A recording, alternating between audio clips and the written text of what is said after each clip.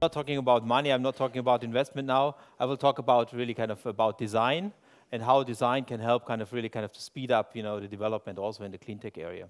Before I do this, I'd like to quickly introduce kind of you to Autodesk. Let me see how this works. Uh, where do you need to push? Okay. Yeah. So Autodesk basically is the worldwide leader in the area of 2D and 3D design and engineering software.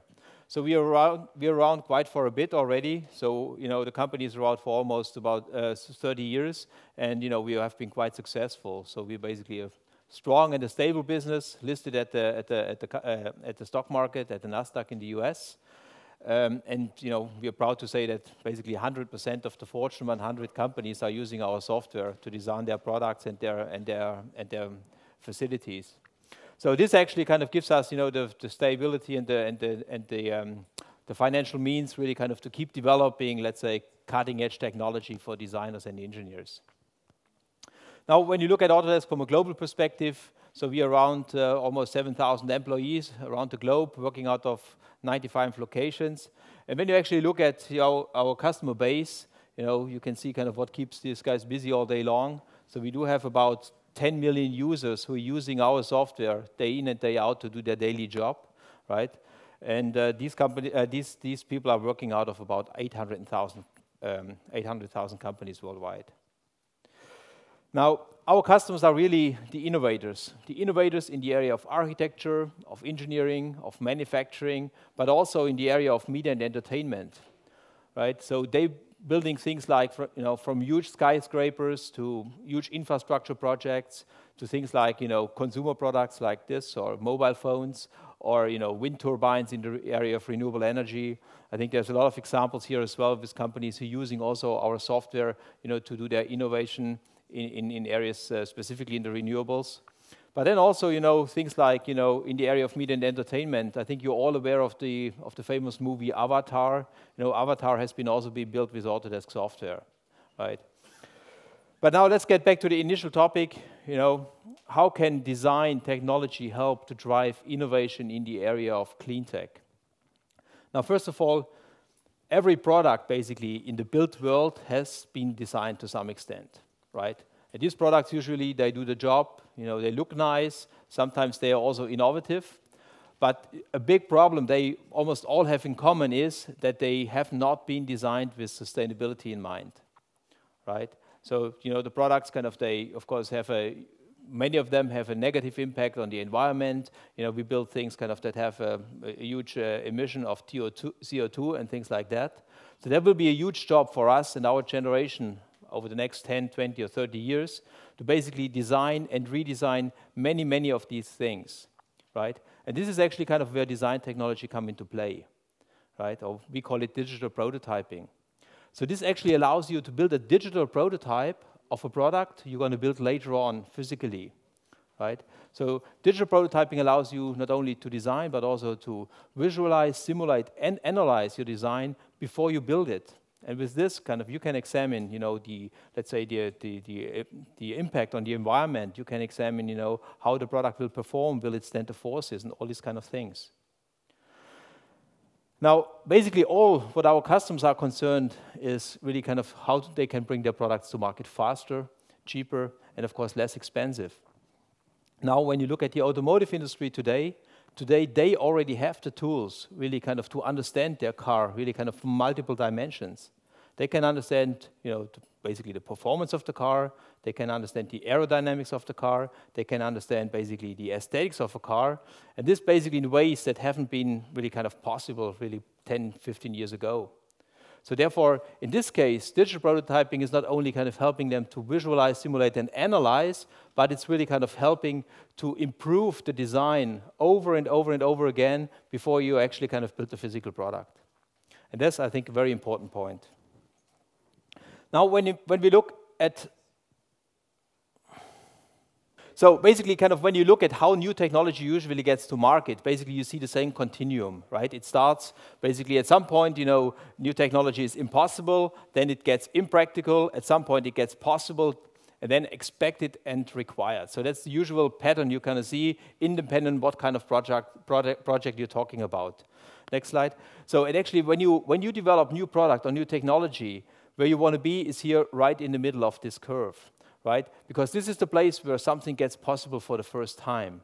And you want to be the first one to be there, right? And digital prototyping basically helps you to get from the impractical to the possible faster, right? So when you're too early, it's still impractical. When you're too late, it's, it's, it's basically you missed, you missed, the, you missed the, uh, the boat, basically. So this is why kind of it's very, very important, important to really kind of use the right technology in order to move your project. Next slide, please. Now, you know, since hundreds of years, basically, people are building physical prototypes, right? So only since about 20 or 30 years, we have the capability to build digital prototypes. And it's may, maybe about five to 10 years where we also have this, the, the, ability now to uh, understand the projects from multiple dimensions, right? So what's the impact now of, the, uh, of this building kind of to the environment? How much CO2 will it, uh, will, will, how, how, high will be the CO2 emission? How much energy will be consumed by this, uh, by this building? So these are the questions we can answer now with, uh, with basically with accuracy. Next slide. Now, and of course, you know, when, it's, when you look at digital prototyping, visualization is very, a very important piece of it, right? And when we talk about visualization, we could mean things like, like Avatar, for example. And it's actually interesting, the same visualization technology that has been used for this movie is also being used to visualize huge infrastructure projects. It's also being used in the automotive industry, or it's also being used in the, in the consumer industry, really kind of to visualize new product, products and new projects. So actually, when you look at the automotive industry, they even use the same motion capture technology that has been used in this movie to basically kind of have their employees or their customers experience you know, new car, new car designs. So this is a very kind of a very interesting thing. But of course, visualization is important, but it's probably even more important to understand, you know, to get an easy understanding on how things kind of function later on. Next slide, please. Now, designers, they have to make trade-offs on an ongoing basis, right? And as they understand those trade-offs, of course, you know, the outcome of a pro project is kind of, you know, significantly, significantly going to change and improve. And the good news today is actually we have, we have ways kind of to understand you know, those things. When you give me the next slide, please. So when you look at this building, you know, you can analyze basically how daylight as, uh, affects the building. You know, you can analyze basically, uh, as again, you know, the heating requirements. You can analyze, you know, the CO2 emissions. Next slide. And, um, but I mean, if you ask an average architect today, you know, what would it mean to the building if you would change the building or rotate the building by 15 degrees, you know, what would that mean basically kind of to the energy, energy consumption or things like that? Or what would it mean if you increase the overhang? I mean, the average architect would have no clue, right? But digital prototyping actually gives them the power really kind of to answer those questions with accuracy. Next slide. Another interesting concept here is really, you know, digital prototyping helps you to quickly iterate through a number of different design alternatives quickly right? And I mean, just put this example here. You know, one interesting source of new design ideas is of obviously nature, right? And something we call biomimicry or bionic. So the example, what you can see here is, you know, this kingfisher bird next to this high-speed train. Um, it's uh, called Shinkansen. It's a high-speed train of, uh, from, from Japan. And actually, the engineers in this case, they had the challenge to change the shape of the train train in order to reduce the noise when it enters, when it enters um, tunnels. And so they ended up kind of with this design, which actually works pretty well. So next slide. Cloud computing. This is something kind of which is a, a big topic these days. So first of all, when you compare computing power today with about 10 years ago, you're getting 10,000 times more computing power for the same money right? And this obviously kind of will change completely or significantly the way how we use computers also for design right? So um, um, we probably not only kind of use the computers in the future really kind of to just you know examine desi uh, the design we, got, we, we created and do the simulation, but you know it will be more likely being used also kind of to help developing the designs. If you give the next slide, please. So the idea, I think, uh, which we are already testing is really kind of, you know, to to define a project and you kind of define some constraints and then the computer automatically kind of creates design. They will kind of calculate, let's say, thousands of different design options and then maybe return kind of is the one which is close to optimum. So there will be kind of a significant change kind of coming you know, through cloud computing and that will kind of significantly help us kind of to, to improve the design and, and to, to uh, improve the results we, we're going to get in these projects. Next slide, please. Now, before I end, I just want to kind of talk quickly, very quickly, one minute about the Autodesk Cleantech Partner Program. So what we are seeing in the market is, of course, you know, specifically when it comes to clean tech, there are a lot of startup companies developing innov innovative technology, but usually the one thing they have in common is they have not the money to invest in expensive software.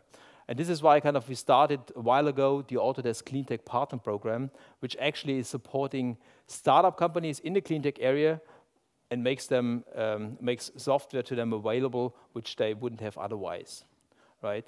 So the program is designed in a way that they can get, you know, uh, basically a software grant up to 120,000 euros, right, which they can use then moving forward to do their design and their engineering work.